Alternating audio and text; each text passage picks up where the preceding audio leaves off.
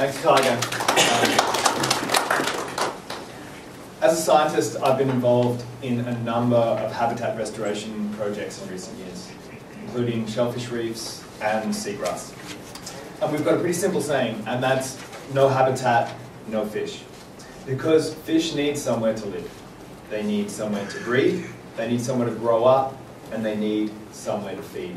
And in fact, 90% of our commercial and recreational species rely, in some part of their life cycle, on inshore coastal habitats. And so we were going to focus on what, have, what do we have and what have we lost in terms of coastal habitats. and we've lost a lot, and that's really costing our industry. Costing up to 30,000 tons of lost seafood per year from all the habitat that we've lost around our coastline. Seagrass, mangroves, only last year we saw a 7,400 hectare loss of mangroves in the Gulf of Carpentaria. And they're worth a lot of money in fish production and in the ecosystem services such as, uh, such as cleaning the water.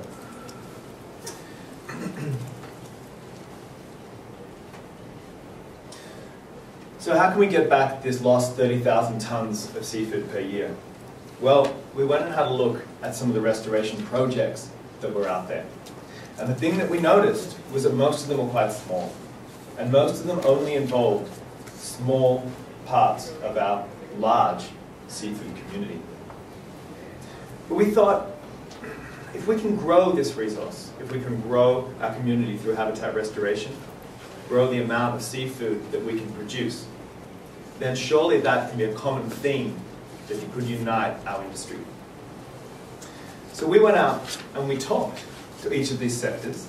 Many of these sectors we are involved in, so we can get some personal reflections within, from within those sectors. And we wanted to identify, well, are these sectors already involved in habitat restoration? And what they saw were the opportunities, and what they saw were the barriers.